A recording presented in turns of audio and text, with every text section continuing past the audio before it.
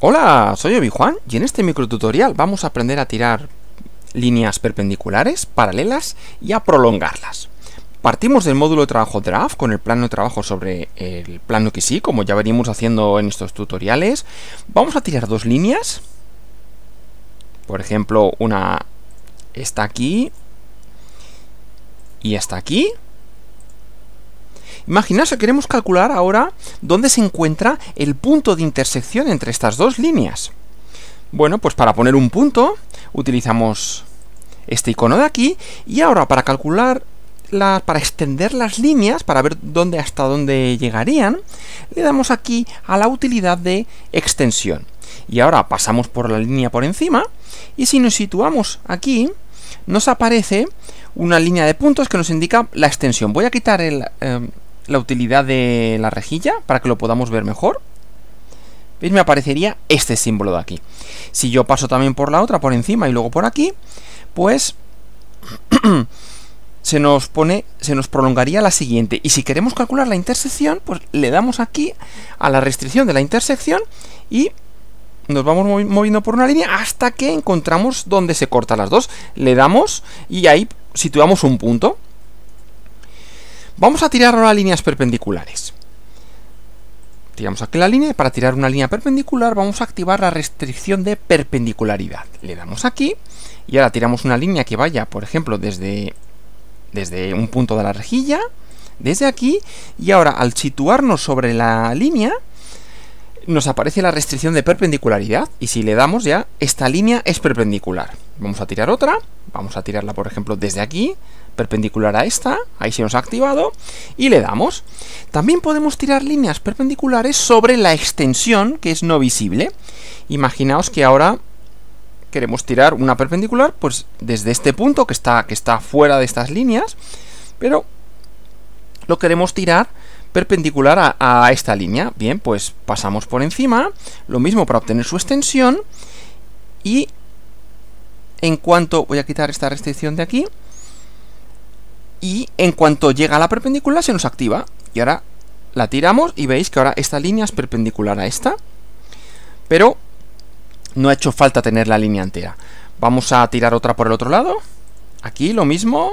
Hacemos aquí la extensión hasta que de repente se nos ponga ahí, se nos activa y esa ya es perpendicular. Para comprobar que efectivamente esto llega hasta las líneas perpendiculares que hemos tirado, vamos a extenderlas, como ya sabemos hacerlo la extendemos hasta aquí, vemos que efectivamente corta justo ahí y vamos a extender la otra.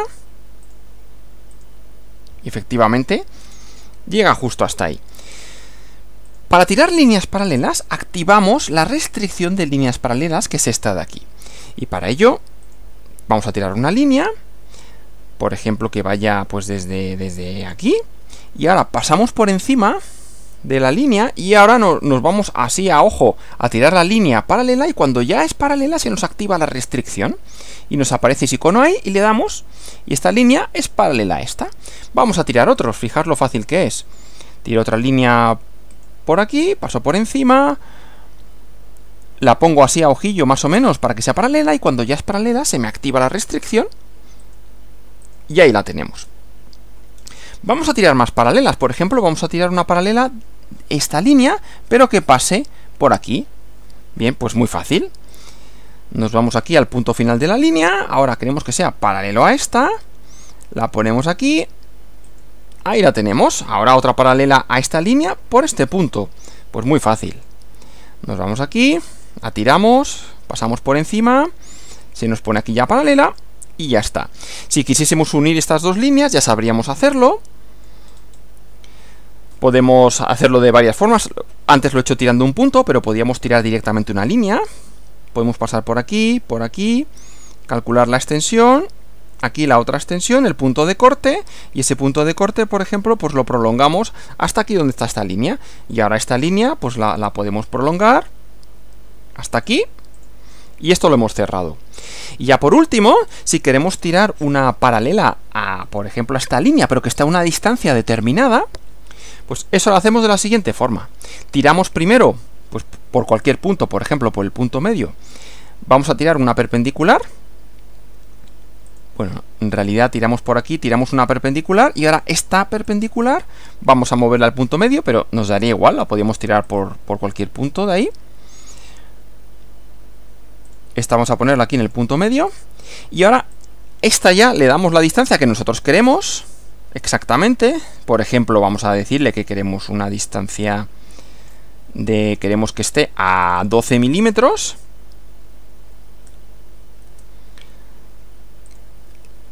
la colocamos exactamente aquí y ahora ya tiramos una paralela que pase por ahí. Ahora ya tiramos por aquí una línea paralela a esta.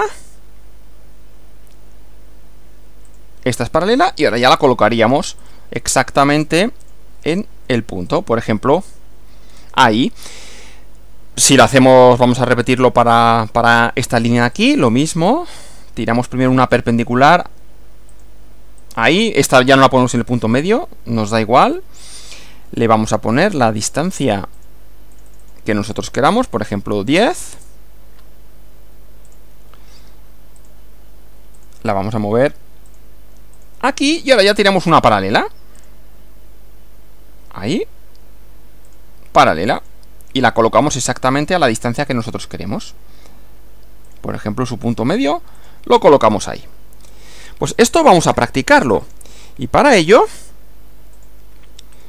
en el ejercicio número uno os propongo que hagáis estos triángulos, rectángulos isósceles, que tienen estos dos catetos iguales.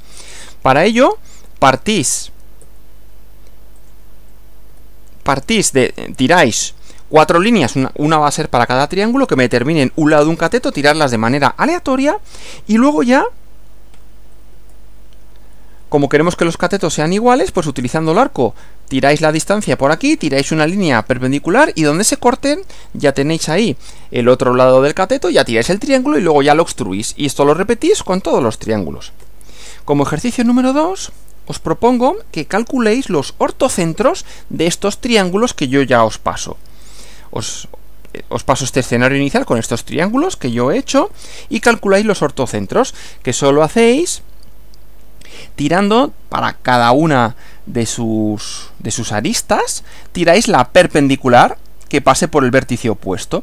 Y el punto de corte aquí es el ortocentro. Esto lo hacéis para cada una de las aristas y obtenéis el ortocentro.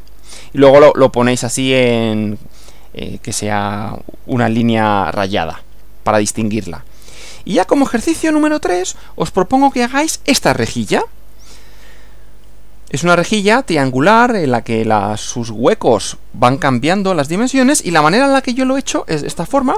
Primero he tirado esta línea de 2 milímetros, luego esta línea que me determina cuál es la inclinación que le quiero dar y luego ya empezado a tirar líneas paralelas. Una línea paralela a esta por este punto, otra línea paralela por este punto esto de aquí luego redondeado será lo que me determine la primera hendidura. Después a continuación he tirado otra línea por aquí de guía, que es la que me va a indicar cómo quiero que vayan variando las alturas de las hendiduras, y luego líneas paralelas a estas por aquí, que me van a determinar las otras hendiduras. Luego, estas hendiduras las hacéis como unas polilíneas y las redondeáis. Aquí me faltan líneas auxiliares que no os he enseñado porque quiero que lo penséis un poco vosotros. Luego eso ya lo extruís calculáis, tiráis un triángulo con las dimensiones que vosotros queráis por ahí por fuera, lo redondeáis y eso ya lo, lo extruís, lo mm, hacéis la intersección, perdón, perdón, la diferencia y ya obtenéis la rejilla que os he mostrado aquí al comienzo. Esto es todo desde Bijuan Academy, que el software libre os acompañe.